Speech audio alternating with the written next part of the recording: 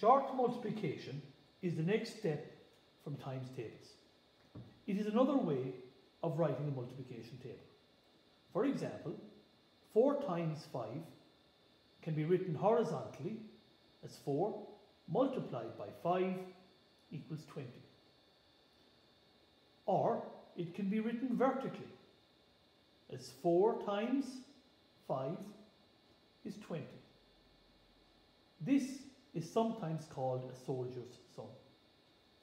There is a progression in multiplication from multiplying a one digit number by a one digit number to multiplying a one digit number by a two digit number. So let's take the example of 21 multiplied by 5. We write the biggest number on top, 21, and multiply by 5. Place value is very important here. We put the units under the units. We begin, we multiply 5 units by 1 unit. The answer is 5. We now multiply 5 by 2. 5 by 2 is 10.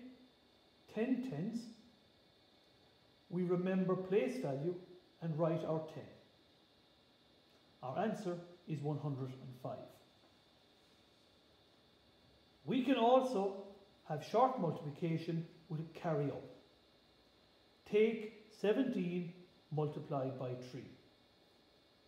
Same as before, we remember place value and write 17 multiplied by 3.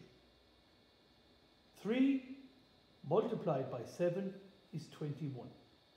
Two tens and one unit. We put down our one unit and we put up our two tens and put a ring around it. 3 multiplied by 1 is 3 or 3 tens. Add on your carry up. 3 tens and 2 tens are 5 tens or 50. Our answer is 51.